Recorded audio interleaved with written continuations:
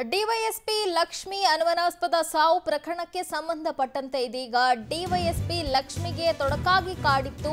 ಅದೊಂದು ಅಭ್ಯಾಸ ಅನ್ನುವಂಥ ಅಪ್ಡೇಟ್ ಈಗ ಲಭ್ಯ ಆಗ್ತಾ ಇದೆ. ಡಿವೈಎಸ್ಪಿ ಲಕ್ಷ್ಮಿ ಅವರಿಗೆ ತೊಡಕಾಗಿ ಕಾಡಿತ್ತು. ಅದೊಂದು ಅಭ್ಯಾಸ.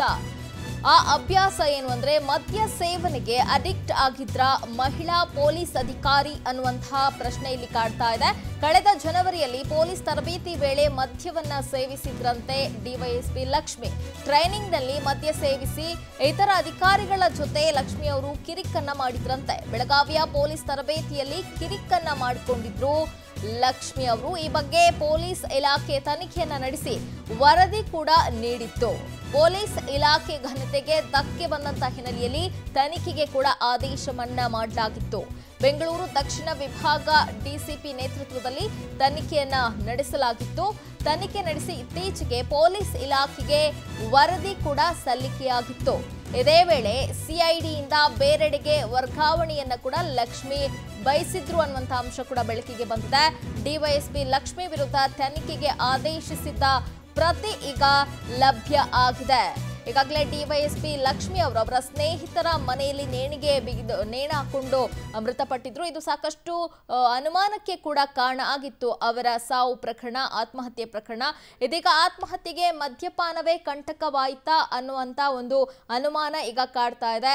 ಈಗಾಗಲೇ ಅವರ ಮರಣೋತ್ತರ ಪರೀಕ್ಷೆಯ ವರದಿ ಕೂಡ ಬರಬೇಕಾಗಿದೆ. ಇದಕ್ಕೆ ಸಂಬಂಧಪಟ್ಟಂತೆ ವಿಚಾರಣೆ ಕೂಡ ಈಗ ನಡೀತಾ ಇರುವಂಥದ್ದು. ಇದರ ನಡುವೆಯೇ ಇದೀಗ ಅವರು ಮದ್ಯಪಾನವನ್ನ ಮಾಡ್ತಾ ಇದ್ರು ಅನ್ನುವಂಥ ಅಂಶ ಈಗ ಬೆಳಕಿಗೆ ಬಂದಿದೆ. ಏನು ಟ್ರೈನಿಂಗ್ ಪೀರಿಯಡ್ನಲ್ಲೂ ಕೂಡ ಅವರು ಮದ್ಯ ಸೇವನೆಯನ್ನ ಮಾಡಿ ಇತರ ಅಧಿಕಾರಿಗಳೊಂದಿಗೆ ಕಿರಿಕನ್ನ ಮಾಡ್ಕೊಂಡಿದ್ರು ಅನ್ನುವಂಥ ಅಂಶ ಈಗ ಬಯಲಿಗೆ ಬಂದಿದೆ. ಈ ಬಗ್ಗೆ ಮತ್ತಷ್ಟು ಡೀಟೇಲ್ಸ್ ಅನ್ನ ನೀಡ್ತಾರೆ ನಮ್ಮ ಪ್ರತಿನಿಧಿ ಅರುಣ್. ಅರುಣ್, ಈಗಾಗಲೇ ಡಿವೈಎಸ್ಪಿ ಲಕ್ಷ್ಮಿ ಅವರ ಆತ್ಮಹತ್ಯೆ ಕೇಸ್ ಸಾಕಷ್ಟು ಅನುಮಾನಕ್ಕೆ ಕೂಡ ಎಡೆಮಾಡಿ ಕೊಡ್ತಾ ಇದೆ. ಇದರ ನಡುವೆ ಈಗ ಇವರು ಮದ್ಯಪಾನಕ್ಕೆ ದಾಸರಾಗಿದ್ರು ಅನ್ನುವಂಥ ಮಾಹಿತಿ ಲಭ್ಯ ಆಗಿದೆ. ಏನು ಸಿಗ್ತಾ ಇದೆ ಅಪ್ಡೇಟ್? ಎಸ್ ನಿಜಕ್ಕೂ ಲೀನಶ್ರೀ ಏನಂದ್ರೆ ಡಿವೈಎಸ್ಪಿ ಲಕ್ಷ್ಮಿ ಅವರ ಅನುಮಾನಾಸ್ಪದ ಸಾವು ಪ್ರಕರಣಕ್ಕೆ ಸಂಬಂಧಪಟ್ಟಂತೆ ಈಗಾಗಲೇ ಸಾಕಷ್ಟು ಆಯಾಮಗಳಲ್ಲಿ ತನಿಖೆ ನಡೀತಾ ಇದೆ. ಇನ್ನೊಂದು, ಈ ಒಂದು ಮಧ್ಯದಲ್ಲಿಯೇ ಒಂದು ಪೊಲೀಸರಿಗೆ ಬಲವಾದಂತ ಒಂದು ಮಾಹಿತಿ ಸಿಕ್ಕಿರುವಂತದ್ದು ಏನಂದ್ರೆ, ಕಳೆದ ಜನವರಿ ಎರಡ್ ಸಾವಿರದ ಇಪ್ಪತ್ತರಲ್ಲಿ ಮಹಿಳಾ ಏನು ಈ ಪೊಲೀಸ್ ತರಬೇತಿಯಲ್ಲಿ, ತರಬೇತಿಗೆ ಹೋಗಿದ್ರು ಲಕ್ಷ್ಮಿ ಅವರು.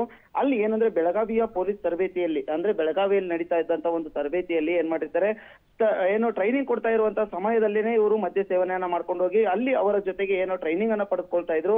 ಅವರ ಜೊತೆಗೆ ಒಂದು ಅಸಭ್ಯ ವರ್ತನೆಯನ್ನ ಸಹಿತ ಮಾಡಿದ್ರು ಅನ್ನುವಂತಹ ಮಾಹಿತಿ ಈಗ ಲಭಿಸಿರುವಂತದ್ದು.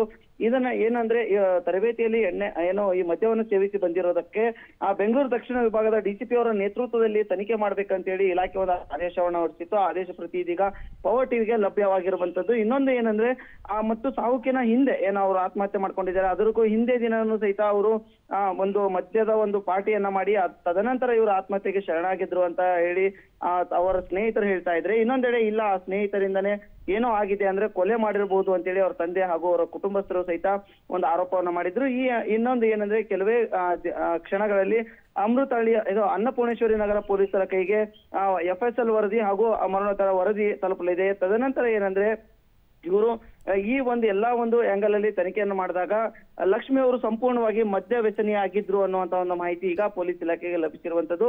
ಜೊತೆಗೆ ಏನಂದ್ರೆ, ಇವರು ಮದ್ಯದಿಂದನೇ ಆತ್ಮಹತ್ಯೆ ಮಾಡ್ಕೊಂಡಿರೋದು ಅಥವಾ ಏನಾದ್ರೂ ಸ್ನೇಹಿತರು ಮದ್ಯದ ಅಮಲಿನಲ್ಲಿ ಅವರನ್ನ ಕೊಲೆ ಮಾಡಿದ್ದಾರೆ ಅನ್ನುವಂತ ಮಾಹಿತಿ ಇನ್ನೇನು ಕೆಲವೇ ಕ್ಷಣಗಳಲ್ಲಿ ಅನ್ನಪೂರ್ಣೇಶ್ವರಿ ನಗರ ಕೈಗೆ ಎಫ್ ಎಸ್ ಎಲ್ ಮತ್ತು ಪೋಸ್ಟ್ ಮಾರ್ಟಮ್ ರಿಪೋರ್ಟ್ ಏನ್ ಬರುತ್ತೆ, ಅದ ನಂತರ ಇದು ಕೊಲೆಯ ಒಂದು ಆತ್ಮಹತ್ಯೆ ಅನ್ನೋದು ಸಹಿತ ಗೊತ್ತಾಗ್ಲಿದೆ ಎಲ್ಲಿನಶ್ರೀ